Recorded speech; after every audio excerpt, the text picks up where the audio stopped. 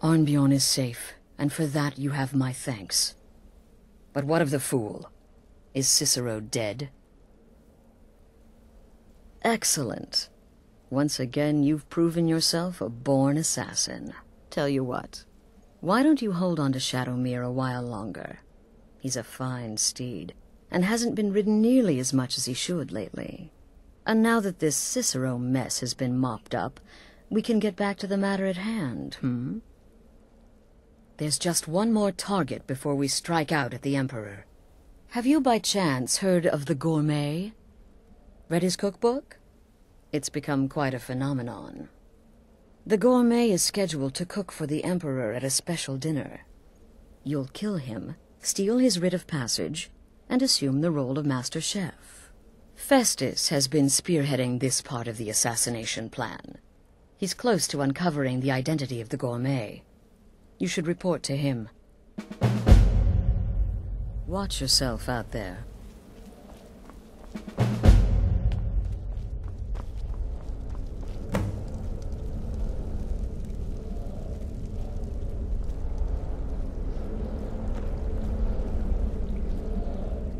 So many contracts, so little time.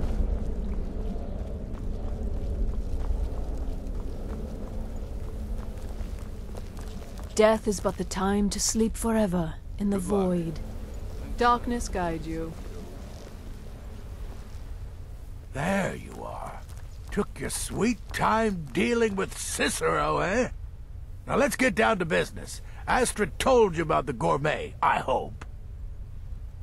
Quite so.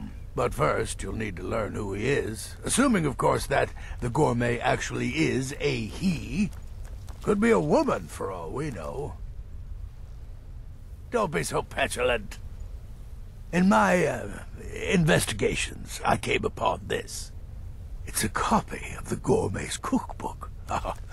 but not just any copy. It's signed, you see. Seems to be a message from the gourmet to one Anton Virane. I've tracked Virane to the keep in Markarth. It would seem he's the cook.